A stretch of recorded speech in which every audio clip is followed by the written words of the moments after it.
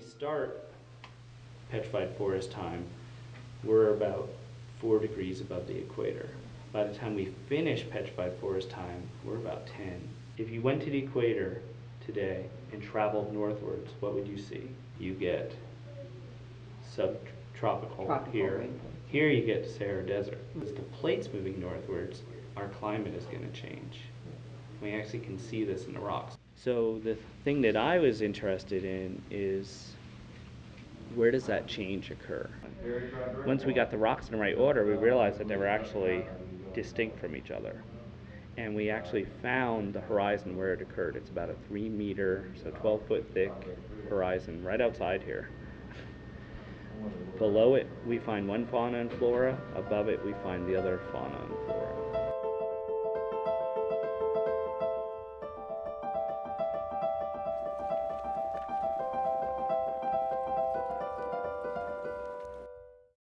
This is what we call our Sonsela member of the Chinle Formation. Now, when we plot our animals, the ones that we're really interested in characterize our lower and upper faunas. Okay. So, our interval between our two faunas is this purple band. When we originally found this, we knew that the plants changed somewhere here as well. And believe it or not, it's actually figured out based on pollen. We actually get fossil pollen out of all these sediments. And our pollen assemblages, which are, you know, indicative of your overall plant communities, changed somewhere in here. So we didn't know anything about the pollen through this whole interval. We knew it changed somewhere in here, but we didn't know where. And wouldn't it be really interesting if it changed where the animals did in this purple layer? So we brought in a master student from the University of Utrecht last year in the Netherlands, mm-hmm. and he sampled all these beds, and he was actually able to find where the pollen changed, and it does. It changes at the purple layer too. So he gets the upper, the older pollen assemblage, starting pretty much where the animals do, up, and then we know the lower pollen assemblages in the sandstone that we're standing on. So this purple horizon is our target. That's where our animals and our plants change. Right now we're walking in this modern wash, which is actually a good place to find fragments. You won't usually find things in situ, which means that they're in place where they died. You'll usually find them after they've been washed downstream.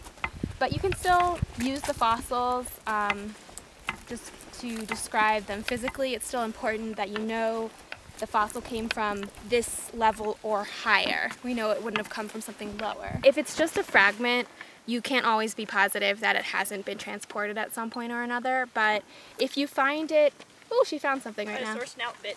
Oh, excellent. Where the teeth go in it. Well, unfortunately, it's just a little broken bit from in the wash, so I could go back and try and trace up the wash and see if there's any more of it coming out. But I can tell that it's a bit of the snout of a phytosaur, um, because it's you can see there's the little holes where the teeth went, and phytosaur would be the only thing with a narrow snout like this. So something like this, even though that we can tell that it's a phytosaur, we wouldn't actually take it with us because it's not diagnostic of the exact type of phytosaur that it is.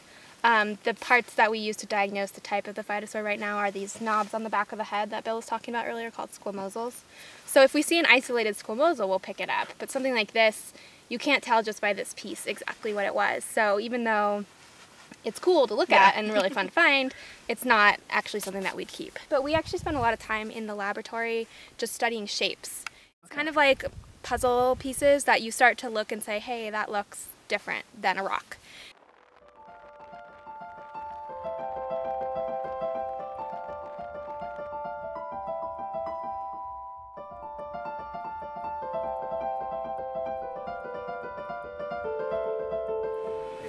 My name's Kenny Bader. I'm the fossil preparator at Petrified Forest National Park.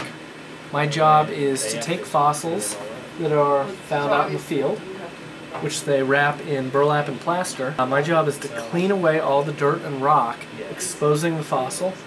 In this case, we have part of the armored plate from the back of a armadillo-like reptile called an aetosaur, and add different types of glues and adhesives to the specimen.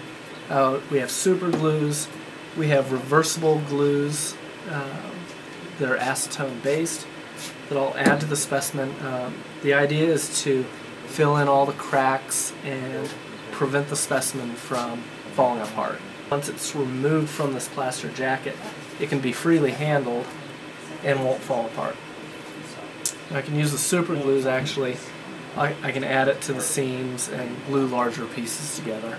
And in some other cases, um, certain limestones we can actually put the fossil with the matrix, the hard rock around it, into a bath of 10% um, acetic acid, basically vinegar. And we can put it in there and let the acid slowly eat away at the uh, limestone. We have a variety of tools, and this is called an arrow. It's basically a miniature jackhammer. It's also referred to as a micro jack, and it's air powered. Little needle that vibrates back and forth, and I can use that to slowly chip away the harder rocks off the bone. If it's softer, I can use hand tools like a pen vise or um, dental picks. Another project that I work on is I go through and mold and cast copies of the fossils. And in most cases at museums, um, if you look at a display in a museum, if the fossil is not in a glass case or have some other major barrier, then in many cases it's a copy of the fossil. Um, ideally, I can get the fossils put together just about perfectly and we'll have an intact bone that can be um, used by scientists for describing new animal species.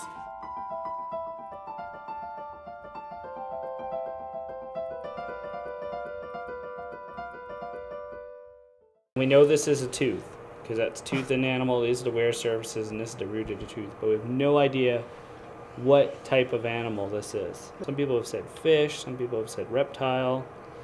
We don't know. So this is the only specimen in the world of this animal. Here's our crayfish. We can't touch him. Part and counterpart. We have a lot of these lower jaws of phytosaurs, but we don't know what species they are.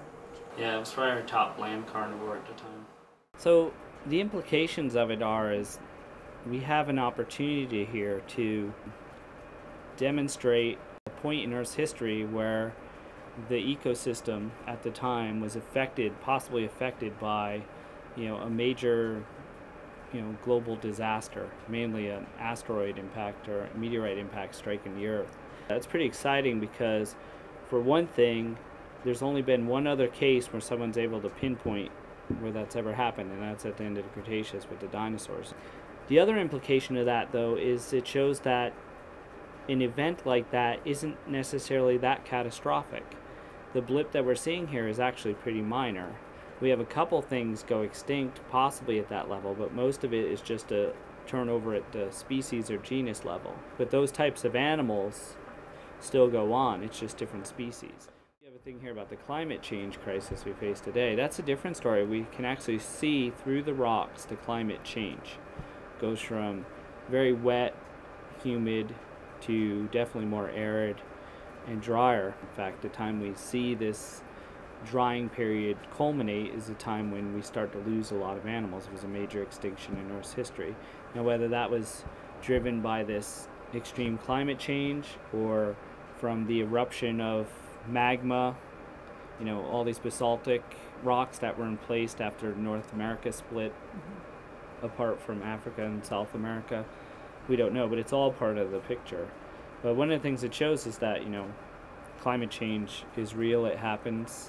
You know, what we're still kind of working on is what that can tell us about today. I mean, what it tells us is that it's happened in the past. Things aren't static, things change all the time, and there's a normal cycle to things. And uh, here's a direct evidence of it, you know, 200 million years ago.